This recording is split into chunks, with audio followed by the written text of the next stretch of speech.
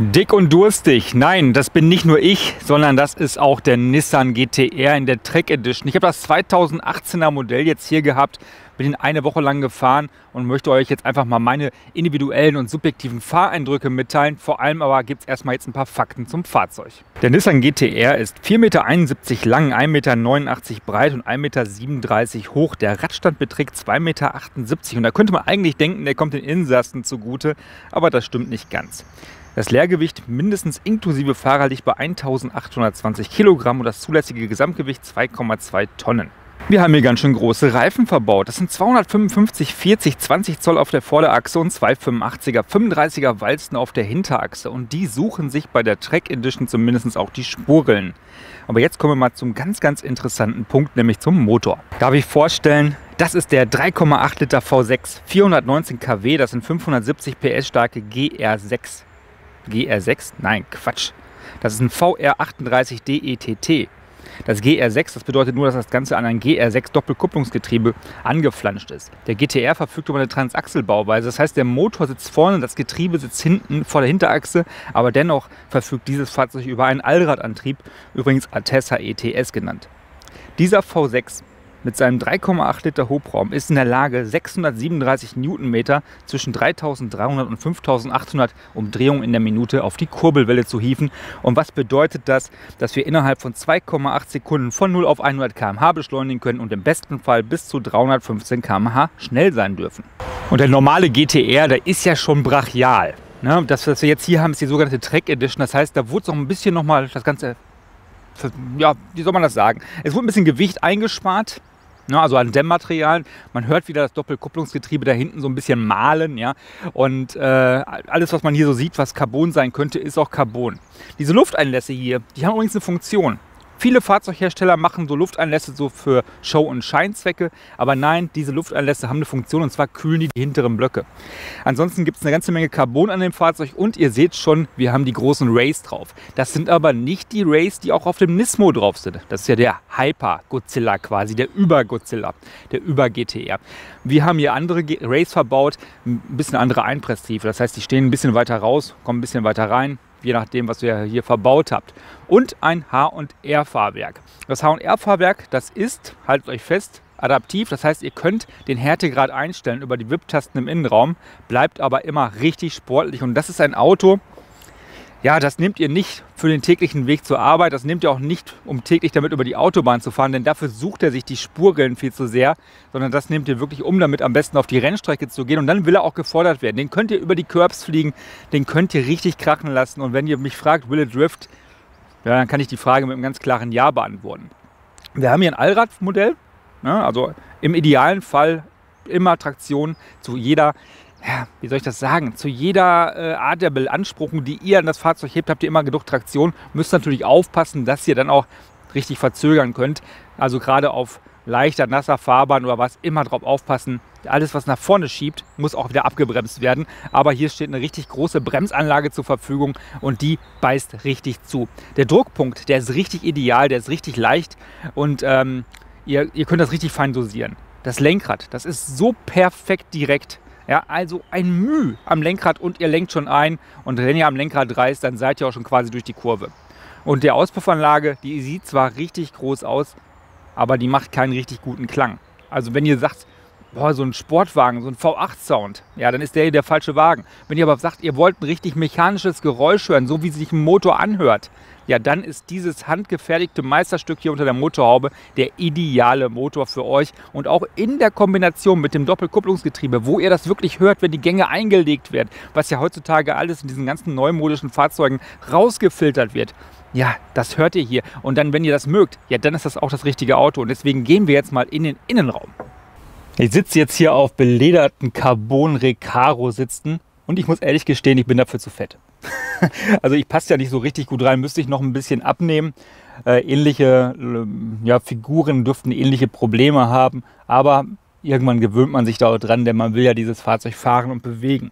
Im Innenraum ist das Ganze so ein bisschen angestaubt, wobei die 2018er Version immerhin, was das Thema Konnektivität betrifft, Apple CarPlay mit reinbringt. Aber komm, es ist ein GTR, Bullshit braucht man eh nicht. Ja, konzentriert euch gar nicht so viel auf das Navi.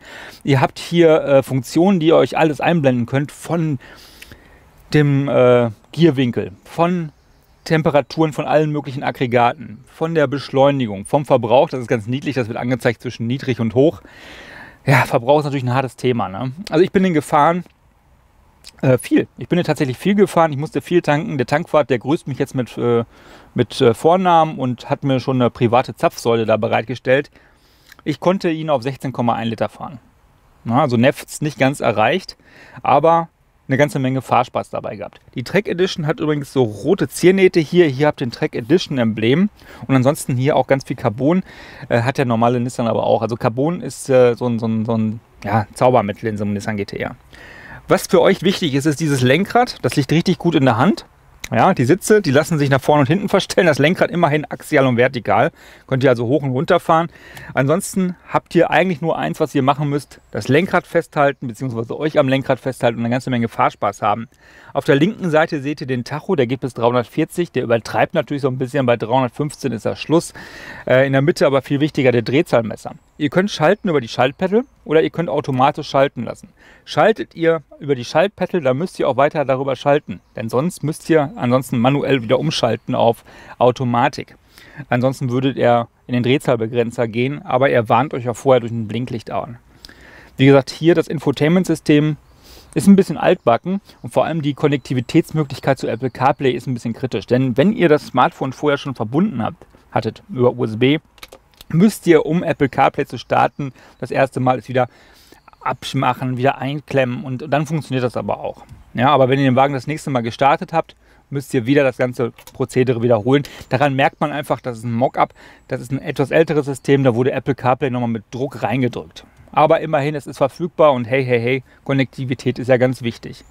Ähm, oben kann man die Alarmanlage ausschalten oder auch das Licht hier innen drin. Hier oben ist ganz wichtig die Freisprecheinrichtung, denn der Wagen ist im Innenraum schon einen Ticken lauter und wenn ihr dann telefonieren müsst, geht es über die Freisprecheinrichtung, aber eigentlich ganz gut. Hier drunter die Bedienung der Klimaanlage. Darunter die drei wichtigsten Tasten. Links könnt ihr das Differential nachschärfen, in der Mitte das Fahrwerk auf komfortabel oder auf sportlich stimmen und ganz rechts könnt ihr das ESC in Sport schalten oder halt ausschalten. Ich empfehle euch es, wenn ihr sagt, ihr wollt eine ganze Menge Fahrspaß haben, macht ihr links und in der Mitte auf Air und am Anfang lasst ihr rechts mal ganz normal und anschließend steigert ihr euch auf Air. Wer das Ding ausmacht, der verliert dann völlig Netz und Boden und äh, muss dann schon wissen, was er da tut. Wie gesagt, driften kann man mit dem Wagen, denn am Anfang gibt er die ganze Kraft über die Hinterachse ab und wenn ihr das Ganze ganz gut dosieren könnt, bleibt es auch hinten und geht immer nur relativ wenig nach vorne. Aber im Falle des Falles und im Notfall habt ihr auch vorne 50 Prozent der Traktion der Kraft auf der Vorderachse und dann habt ihr halt den Vortrieb, den ihr wollt. Bei der Beschleunigung von 0 auf 100, ich muss gestehen, ich habe diesen 2,8er Wert nicht erreicht. Das liegt auch immer an den Reifen, am Boden, an der Dings. Und ich habe auch die Launch Control, die dieses Fahrzeug hat, nicht aktiviert. Warum mache ich das nicht? Weil es einfach materialmordend ist und ich gehe mit diesen Testfahrzeugen besser um als mit meinem eigenen Fahrzeug und deswegen mache ich das nicht. Gut, Start-Stopp-Knopf brauche ich denke ich nicht erklären manueller äh, Gangwahlhebel, wollte ich gerade schon sagen. Der Automatikschalter hätte ich gut in der Hand. Und was haben wir hier? Eine wunderbare Handbremse. Und ich habe gesagt, ich feiere jedes Auto ab, was eine Handbremse hat, noch mit dem Griff. Und natürlich hat der Nissan GTR, egal ob Track Edition oder nicht, noch einen Griff. Und das feiere ich einfach mega ab. Ich freue mich über jedes Fahrzeug, was über keine elektrische Handbremse verfügt, vor allem im Winter. Ähm, ja, hier ist das Bedienelement für das Navi. Man kann aber auch hier auch touchen. Ich habe das Ding ehrlich gesagt nicht einmal be benutzt. Also ich habe hier alles drüber eingesteuert. Funktioniert gut. DAB Plus haben wir auch. Alles super. Sitze, wie gesagt, mir persönlich ein Ticken zu eng. Liegt aber an mir, nicht an den Sitzen. Es gibt aber auch äh, normale Sitze. Wenn das mein Nissan GTR wäre, würde ich quasi mir noch eine andere Sitzkonsole bauen lassen, denn ich würde gerne noch einen Ticken höher sitzen. Ich kann den Sitz nicht in der Höhe verstellen, ich kann ihn aber auch scheinbar nicht klappen. Das heißt, wenn hinten, und ich zeige euch das jetzt gar nicht, weil da hinten setzt ihr, nicht, da setzt ihr keinen rein. Da setzt ihr nicht mal die Schwiegermutter rein, nicht mal eure Stiefmutter, da setzt ihr nicht mal eure Kinder hin. Also für kurze Strecken ja, aber nicht für längere Strecken. Deswegen nutzt das da hinten als Ablage, nutzt das, um da noch einen Rucksack hinzulegen oder nutzt das einfach, damit es sauber bleibt. Lohnt sich nicht. Also Platz ist da nicht. Und was wir da hinten haben, ist eine sehr, sehr breite C-Säule. Und wo ich das da hinten gerade so sehe, kommen wir mal zum Heck. Es gibt nämlich bei diesem Fahrzeug nur zwei Sachen, was optional sind. Das sind einmal die Farbe, die kostet 1000er Aufpreis und der Carbon-Heckspoiler, der kostet 3000 Euro Aufpreis. Ansonsten ist hier halt einer verbaut, der wahrscheinlich in Wagenfarbe oder in Schwarz lackiert ist. Aber ich würde sagen, wenn ich schon sage, komm, ich gebe 117.500 Euro aus für die Track Edition, ja dann doch auch inklusive Carbon-Heckspoiler, oder? Macht eine ganze Menge her. Ansonsten ist der Nissan GTR hier in der Baureihe 35 unverändert. Ja, das ist so schön, das ist so ein Relikt aus, ja, der, der wird, glaube ich, seit zehn Jahren schon so gebaut und äh, hat relativ bescheidene Zulassungszahlen. Das heißt, die Wahrscheinlichkeit, dass ihr mit dem Nissan GTR auf einen weiteren Nissan GTR trifft, das ist fast bei null. Ich habe alle gehabt. Ich habe einen R8 gesehen auf der Straße, ich habe einen R8 Spider gesehen, ich habe einen F-Type gesehen, ich habe natürlich diverse AMG und Porsche Modelle gesehen, aber keinen Nissan GTR und somit eigentlich, wenn man sagt, man guckt mal auf der Straße, gibt es irgendwelche Fahrzeuge, die schneller beschleunigen können von 0 auf 100, habe ich keinen getroffen, der schneller war. Nur mal so als kleiner Tipp. Ja, und darunter, da verbirgt sich tatsächlich ein Kofferraum und den schauen wir uns jetzt mal an. Übrigens, der hat auch eine Rückfahrkamera, die ist hier relativ ungeschützt. Und hier gibt es eine Taste für den Kofferraum. Es, den Kofferraum kann man aber auch öffnen über den Schlüsselschalter und das ist eine kleine, ja, wie soll ich das sagen? Eine kleine Enttäuschung ist der GTR-Schlüssel, denn der ist ein ganz normaler Nissan-Schlüssel, nur dass hier GTR steht. Aber schließen, öffnen und Kofferraum öffnen. Und hier drunter, das sind 360 Liter Volumen. Das ist fast Kompaktklasse, würde ich sagen. Ist natürlich ein Riesenloch. Ne? Also die Ladekantenhöhe, ihr seht das hier, das ist meine Stativtasche. Ja, das muss man erstmal alles absetzen. Aber darunter, da passt wirklich eine ganze Menge rein, aber ist trotzdem nicht zu gebrauchen. Denn wenn ihr sagt, ich komm, ich nehme den GTR und fahre mal einkaufen, fährt man den Wagen ja erstmal warm. Ne? Macht man ja. Also ich mache das immer. Ich trete erst, wenn die so 80 Grad haben. Und ähm, dann ist der Kofferraum schon gut an, vorgewärmt. Denn wir haben ja hinten nicht nur die Auspuffanlage, die vierflutige, sondern auch das Getriebe sitzt und das erzeugt einfach Abwärme. Das heißt, wenn ihr Tiefkühlsachen kauft und legt die nachher in den Kofferraum rein, ja, Prost Mahlzeit, dann ist das aufgetaut, wenn ihr wieder zu Hause seid. Aber ansonsten ein wirklich reisegerechter Kofferraum, das heißt, mit zwei Personen könnt ihr hier locker mit in den Urlaub fahren. Also nur für die, die sich gerade so überlegen, noch so ein paar Pluspunkte zu suchen für den Nissan GTR.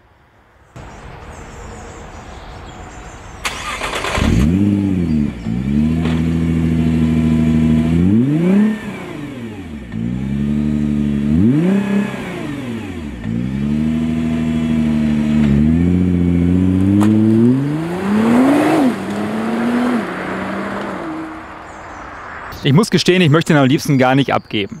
121.900 Euro trennen mich jetzt von diesem Meisterwerk. Und ich sage wirklich Meisterwerk, denn der Motor, ihr kennt es bei Nissan äh, GTR, die werden einfach handgefertigt, genau wie bei Mercedes AMG auch. Ja? Also die Motoren, die haben einen Motorbaumeister und ich muss euch gestehen, diese Leute, ja, das sind wirklich Meister ihres Fachs. Die werden sogar richtig abgefeiert. Zugegeben, jetzt hier nicht so in Deutschland, aber ich war zum Beispiel mal in New York auf der Autoshow und da waren diese Motorenbauer, die hatten Poster, die haben da Autogramme gegeben und so ganz so ähnlich ist es ja auch mit den Motorbauern von Mercedes AMG. Da gibt es ja auch schon den einen oder anderen, der da draußen ein bisschen heraussticht, der durch seine Social Media Aktivitäten auf sich aufmerksam gemacht hat und mittlerweile auch so ein kleiner gefeierter Star ist. Dieses Meisterwerk der Technik, wie gesagt, 121.900 Euro, ist aber nichts für den Alltag. Machen wir uns da nichts vor. Wer wirklich ein Auto braucht, um damit täglich zur Arbeit zu fahren, das ist der Wagen nicht. Das ist eher das Track-Tool, mit dem man zur Rennstrecke hinfahren kann, auf der Rennstrecke richtig viel Spaß hat und dann wieder nach Hause fährt. Dann geht es natürlich in den Verschleiß und es geht auch in den Verbrauch. Verbrauch reden wir nicht drüber, Nefts werdet ihr nicht erreichen, wenn ihr den artgerecht haltet. Irgendwas um die 16 Liter verbraucht ihr wahrscheinlich im Alltag und äh, wenn ihr es richtig krachen lasst, 30 Liter locker. Ja? Und äh, mein Kritikpunkt hier ist jetzt gar nicht, Mensch, der verbraucht viel zu viel, sondern der Tank ist viel zu klein, denn man muss ihn dann schon relativ häufig tanken. Ich sag mal so, man kann es schaffen, in 300 Kilometern die Tankfüllung einfach zu leeren. Und das ist einfach ein Ding, wo ich sage, ja, dann kann ich auch ein Elektroauto fahren, weil viel weiter kommen die ja auch nicht. Kleiner Scherz. Dennoch, das ist ein Fahrzeug der aussterbenden Rasse. Viele von euch sagen, Mensch, so eine Umweltsau brauchen wir nicht mehr. Ich sage doch, brauchen wir, nämlich für die Flucht aus dem Alltag, einfach mal dem Trotz zu entfliehen, einfach mal was anderes zu machen. Und das macht mir eine ganze Menge Freude, damit so ein Fahrzeug zu fahren, vor allem wenn es so perfekt ist. Lenkung, wie gesagt, richtig direkt. Wenn ich von einer direkten Lenkung spreche, dann meine ich genau das, was dieser Nissan GTR bietet. Ich lenke nur ein Mühe ein, zack, der Wagen folgt. Die Bremse auf dem Punkt.